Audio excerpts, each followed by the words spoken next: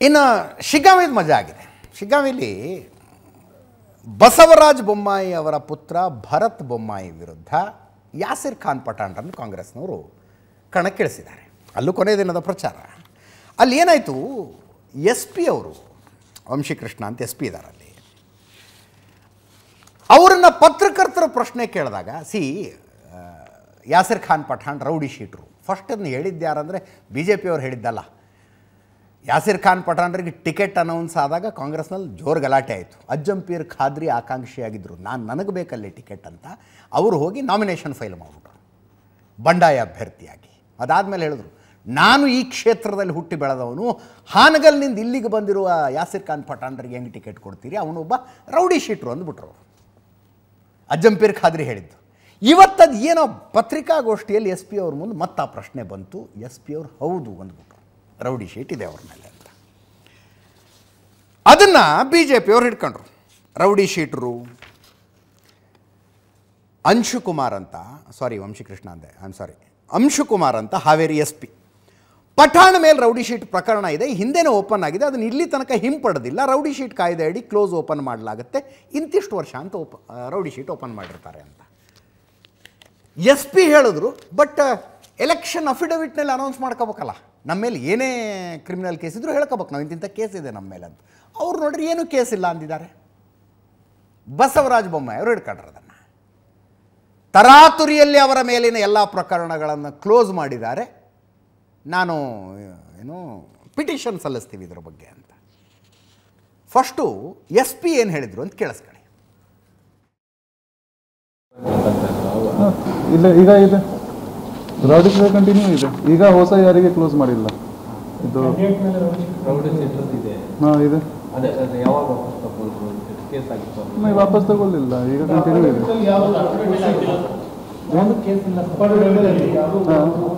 ಇದು. ಈ rowdy sheet ಬಗ್ಗೆ ನಮ್ಮ ಪೊಲೀಸ್ ಮ್ಯಾನ್ಯಲ್ ಅಲ್ಲಿ ಏನು ರೂಲ್ ಇರುತ್ತೆ? ಆ ರೂಲ್ ಪ್ರಕಾರ ಓಪನಿಂಗ್ ಮತ್ತೆ ಕ್ಲೋಸಿಂಗ್ ಆಗುತ್ತೆ. ಇದು ನಮ್ಮ ಕೆಲವು ಕ್ರೈಟೀರಿಯಾ ಇರುತ್ತೆ. ಎಷ್ಟು ವರ್ಷದಿಂದ ಎಷ್ಟು ಕೇಸ್ ಆಗಬಾರ್ದು? ಈ ಕ್ರೈಟೀರಿಯಾ ಪ್ರಕಾರ ನಾನು ಕಂಟಿನ್ಯೂಸ್ಲಿ ಹೊಸ ಹಾಂ ಈಗ ಇದೆ. ಯಾಸಿರ್ ಖಾನ್ ಪಠಾಣ್ ರೌಡಿ ಶೆಟ್ರು ಅಂತ ಹೇಳಿದ ಅಜ್ಜಂಪೀರ್ ಖಾದ್ರಿ ವೇದಿಕೆಯ ಮೇಲೆ ಯಾಸಿರ್ ಖಾನ್ ಪಠಾಣ್ರ ಕೈ ಹಿಡ್ಕೊಂಡು ಎತ್ತಿದ್ದಾರೆ ಈಗ.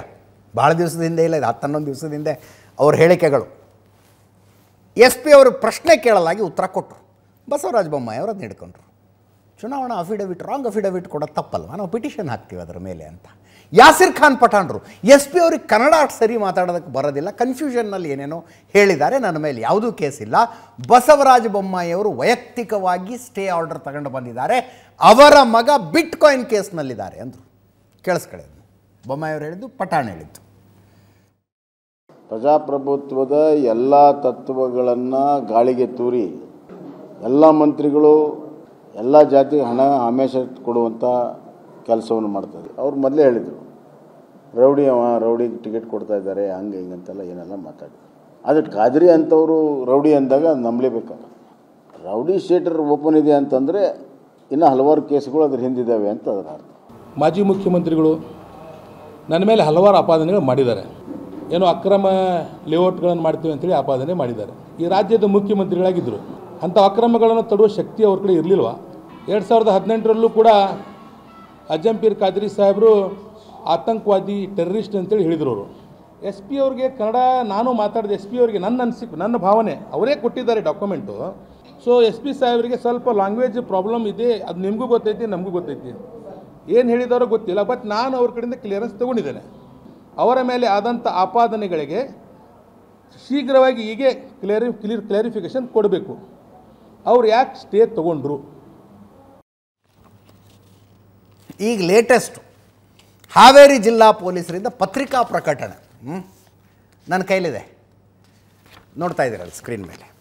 ಶ್ರೀ ಯಾಸಿರ್ ಅಹಮ್ಮದ್ ತಂದೆ ಮೊಹಮ್ಮದ್ ಖಾನ್ ಪಠಾಣ್, ಸಾಕಿನ್ ಬೊಮ್ಮನಹಳ್ಳಿ, ತಾಲೂಕ್ ಹಾನಗಲ್ ಜಿಲ್ಲಾ ಹಾವೇರಿ, ಇವರ ಮೇಲೆ ರೌಡಿ ಶೀಟ್ ಇದೆ ಅಂತ ಕೆಲವು ಮಾಧ್ಯಮಗಳಲ್ಲಿ ಪ್ರಸಾರವಾಗಿದ್ದು ಇರುತ್ತದೆ. ಕೆಲವು ಮಾಧ್ಯಮಗಳಲ್ಲಿ ರೌಡಿ ಶೀಟ್ ಇದೆ ಅಂತ ಪ್ರಸಾರವಾಗಿದೆ. ಡಿ ಎಸ್ ಪಿ ಶಿಗ್ಗಾವಿ ಹಾಗೂ ಪಿ ಐ ಶಿಗ್ಗಾವಿ ಅವರ ಕಚೇರಿಯ ದಾಖಲಾತಿಗಳನ್ನು ಪರಿಶೀಲಿಸಲಾಗಿ ಪ್ರಸ್ತುತ ಶ್ರೀ ಯಾಸಿರ್ ಅಹಮ್ಮದ್ ತಂದೆ ಮೊಹಮ್ಮದ್ ಖಾನ್ ಪಠಾಣರ ಮೇಲೆ ಇದು ಬೋಲ್ಡ್ ಲೆಟರ್ನಲ್ಲಿ ಅಂಡರ್ಲೈನ್ ಮಾಡಿ ಹಾಕಿದ್ದಾರೆ. ಯಾವುದೇ ರೀತಿ ರೌಡಿ ಶೀಟ್ ಇರುವುದಿಲ್ಲ ಅಂತ. ಯಾವುದೇ ರೀತಿ ರೌಡಿ ಶೀಟ್ ಇರುವುದಿಲ್ಲ ಫಸ್ಟ್ ಆಫ್ ಆಲ್ ಕೆಲವು ಮಾಧ್ಯಮಗಳಲ್ಲಿ ಪ್ರಸಾರವಾಗಿದ್ದು ಇರುತ್ತದೆ ಅಂದರೆ ಎಸ್ ಪಿ ಅವ್ರು ಹೇಳಿದೆ ನಾವ್ಯಾಕ್ರಿ ಪ್ರಸಾರ ಮಾಡೋಣ? ಯಾಸಿರ್ ಖಾನ್ ಪಠಾಣಿ ಗೆದ್ರೇನು, ಭರತ್ ಬೊಮ್ಮಾಯಿ ಗೆದ್ರೆ ನಮಗೇನು ಆಗಬೇಕಾಗಿದೆ? ಎಸ್ ಪಿ ಅವ್ರು ಹೇಳಿದ್ದನ್ನು ನಾವು ಪ್ರಸಾರ ಮಾಡಿದ್ವಪ್ಪ. ಕೆಲವು ಮಾಧ್ಯಮಗಳಲ್ಲಿ ಪ್ರಸಾರವಾಗಿದೆ ಅಂದರೆ ನಮ್ಮ ಎಸ್ ಪಿ ಅವರು ತಪ್ಪಾಗಿ ಹೇಳಿಕೆ ಕೊಟ್ಟಿದ್ದಾರೆ ಅಂತ ಕೊಡಬೇಕಾಗಿತ್ತು ಕ್ಲಾರಿಫಿಕೇಷನ್ನು ಹಾಂ ನಮ್ಮ ಎಸ್ ಪಿ ಅವರು ಬಾಯಿ ತಪ್ಪಿನಿಂದ ಅಥವಾ ಮಾಹಿತಿಯ ಕೊರತೆಯಿಂದಾಗಿ ರೌಡಿ ಶೀಟ್ ಇದೆ ಎಂದು ಹೇಳಿಬಿಟ್ಟಿದ್ದಾರೆ, ಆದರೆ ದಾಖಲೆಗಳನ್ನು ಪರಿಶೀಲಿಸಲಾಗಿ ಆ ರೀತಿಯಾಗಿ ಇರುವುದಿಲ್ಲ ಅಂತ ಕೊಡಬೇಕಾಗಿತ್ತು. ಅದು ಬಿಟ್ಟು ಒಟ್ಟಿನಲ್ಲಿ ಪುಗ್ಸಟ್ಟೆ ಸಿಕ್ಬಿಡ್ತೀವಿ ನಾವು ಮಾಧ್ಯಮದವರು ಅಂದರೆ.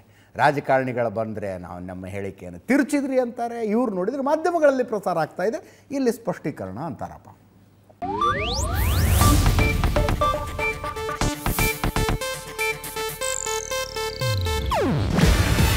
ಇದು ಏಷ್ಯಾನೆಟ್ ನ್ಯೂಸ್ ನೆಟ್ವರ್ಕ್ ಪ್ರಸ್ತುತಿ. ನೀವು ನೋಡ್ತಿದ್ದೀರಾ ಏಷ್ಯಾ ನೆಟ್ ಸುವರ್ಣ ನ್ಯೂಸ್.